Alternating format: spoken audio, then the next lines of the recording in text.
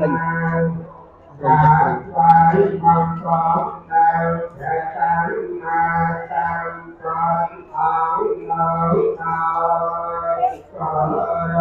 ្រះសម្មាសម្ពុទ្ធអង្គនៅ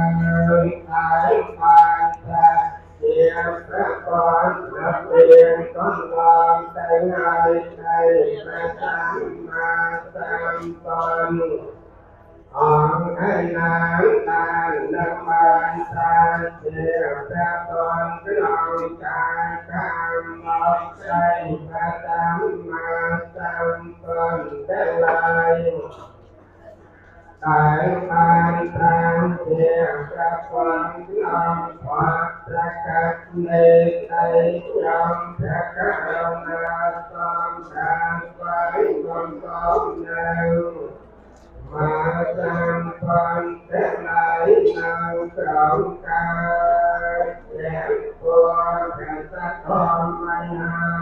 យជាផងប្រកបដោយអង្គសម្បត្តិប្រការអំណាចនៃព្រះអរិយបរបានជាម្ចាស់ជាផ្លូវអត់ត្រូវក្នុងកិច្ចការយ៉ាងជន់តែប្រាថ្នា ម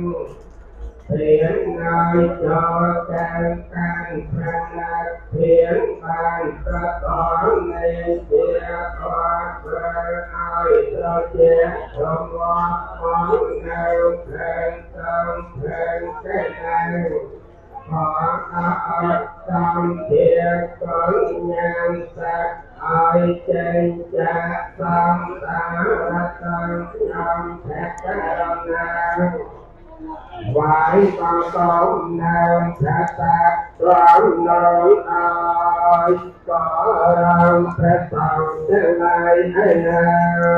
តែព្រះព្រះតោបានសម្រាប់វគ្គនៅបរតឡាមទាំងហើយតែព្រះតោទាំងឡាយ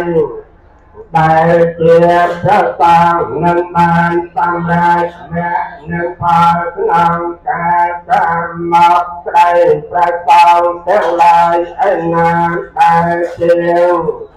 បានសម្រេចអ្នកនៅផលក្នុងកាលជាបច្ចុប្បន្ននៃស្ដីខ្ញុំព្រះករណាសំត្រាស្វែង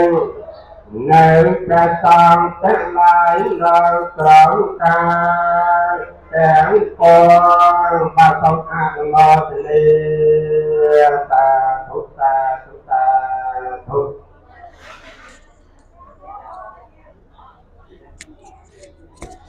ក៏សូមចម្រើនពរដល់ញាតិញោមពុទ្ធបរិស័ទម្ចាស់សទ្ធាដែលបានផ្ញើថវិកាមកតាមពិតទៅ អាត្មាបានទទួលយូរហើយប៉ុន្តែដោយសារកាលពីថ្ងៃដែលគាត់គោរពធ្វើគូបអាពាហ៍ពិពាហ៍របស់គាត់អាត្មាក៏អត់បានធ្វើពិធីអឺវេនឹង live ជូនគាត់ក៏អញ្ចឹងថ្មបានទទួលទឹកប្រាក់អំពីបង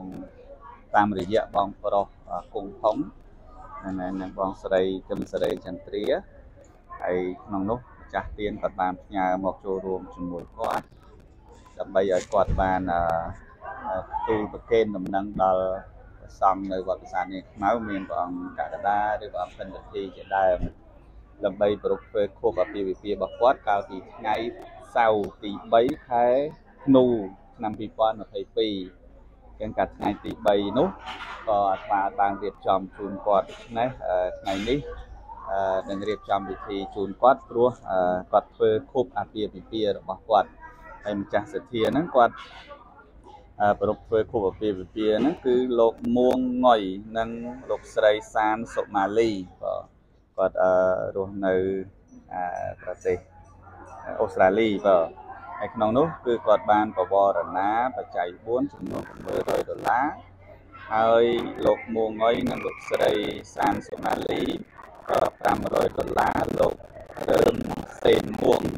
100ដុល្លារកញ្ញាអេលីអាណាសានមួងចំនួន100ដុល្លារលោកកឹមសាននិងអ្នកស្រីកឹមស្រុងចំនួន100ដុល្លារលោកសួនតាំងឆាយ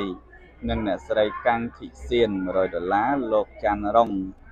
និងអ្នកស្រីច័ន្ទថា100ដុល្លារលោកប៉ាងវុទ្ធបញ្ញា50ដុល្លារលោកប៉ាងវិរៈឧត្តម50ដុល្លារសរុបទាំងអស់គឺចំនួន 1100ដុល្លារក៏ដូច្នេះនេះជាទានដែលគាត់ត្រូវធ្វើនៅក្នុងថ្ងៃខួបអាពាហ៍ពិពាហ៍របស់គាត់ថ្ងៃទី3ខែ12បើថ្ងៃទី3ខែ12កន្លងទៅនេះហើយថ្ងៃទីនេះជាថ្ងៃទី7ដោយសារគាត់ថាចង់សុំលើកបើថាអត់បានធ្វើមកដាក់ថ្ងៃទី8ឬទី9ប៉ុន្តែស្មាសុំអធិស្ឋានដល់បងបងម្ចាស់សេដ្ឋីផងដែរដោយសារថ្ងៃទី8 ស្អែកនេះគឺជាថ្ងៃដែលប្រពៃពិធីបុណ្យសម្ពោធឆ្លង សមិទ្ធផលនានាគឺប្រព្រឹត្តទៅនៅថ្ងៃស្អែកនេះថ្ងៃទី8ទី9ទី10និងទី11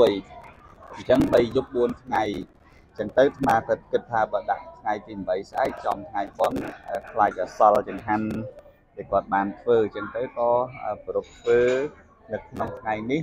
គឺថ្ងៃទី7មុនពិធីបុណ្យមួយថ្ងៃគេក៏តន់មានពុទ្ធបរិស័ទបានចូលរួមទេដូច្នេះបានចាត់ចែងចង្ហាន់បិណ្ឌបាតព្រមទាំងទេយទានដើម្បីធ្វើពិធីសង្ឃទានក៏ដូចជា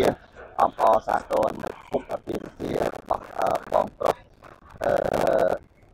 មួងមកនឹងលោកស្រីសានសុមាលីក៏ដែល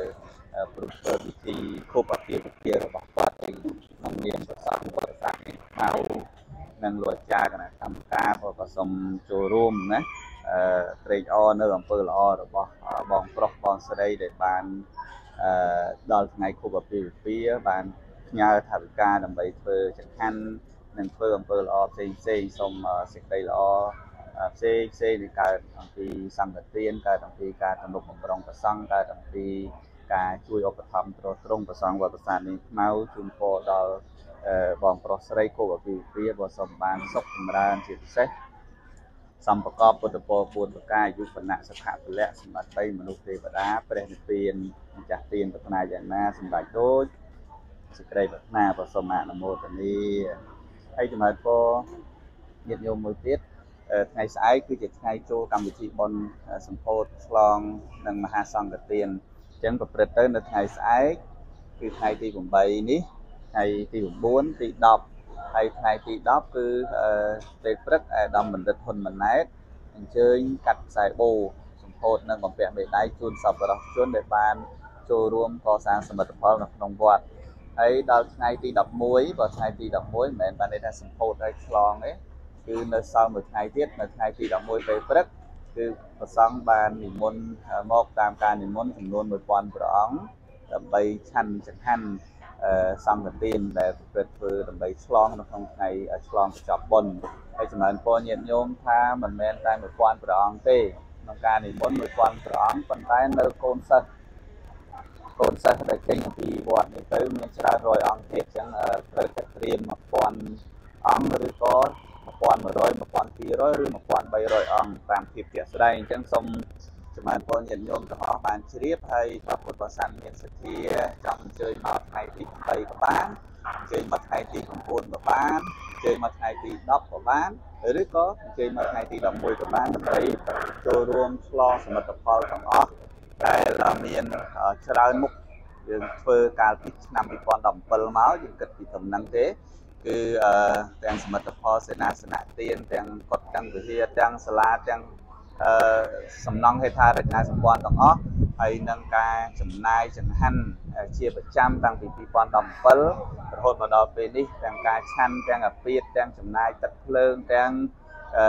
បងថ្លៃសាលាប្រគេនប្រសង់លោកសិក្សាចឹងគិតជាសមិទ្ធផលទាំងអស់គិតចេញជាទឹកប្រាក់ចំនួន5លាន 7សែនក៏5លាន7សែនជាងដុល្លារសហរដ្ឋអាមេរិកដូច្នេះសូមអស់លោកសប្បុរសទាំងឡាយដែលមានសទ្ធាធ្លាប់បានធ្វើឲ្យអញ្ជើញមកចូលរួមឆ្លងណាទាំងអស់គ្នាឲ្យអនុមោទនាឲ្យបុណ្យនឹងប្រព្រឹត្តទៅជាសម្បត្តិរបស់សាសនាទាំងអស់ណាសេនាសនៈទាំងអស់នេះជាសម្បត្តិរបស់សាសនាយើងមេប្រគេនឲ្យទៅជារបស់សាសនាពេលណាខាងក្រោយខាងក្រោយប្រសងគង់ខាងក្រោយក្រោយទៀតគឺជា របស់សាសនាយើងអត់មានរបស់កម្មសិទ្ធិអ្នកណាមួយទេនឹងចឹងសម្រាប់ពលយើងចូលបានជ្រាបហើយដូច្នេះឥឡូវសូមញោមម្ចាស់ទៀនដល់ញោមលោកមួងងុយនិងលោកស្រីសានសមាលីព្រមទាំងញាតអញ្ជើញវេចង្ហាន់ជាមួយម្ចាស់សុភាពថ្ងៃនេះក៏គាត់បានមកធ្វើជាមួយដែរនៅខាងរាជធានីភ្នំពេញក៏អញ្ចឹងសូមអញ្ជើញធ្វើនឹងវេចង្ហាន់អនុមោទនាបុណ្យទាំងអស់គ្នាក៏សូមអនុមោទនា Thank you.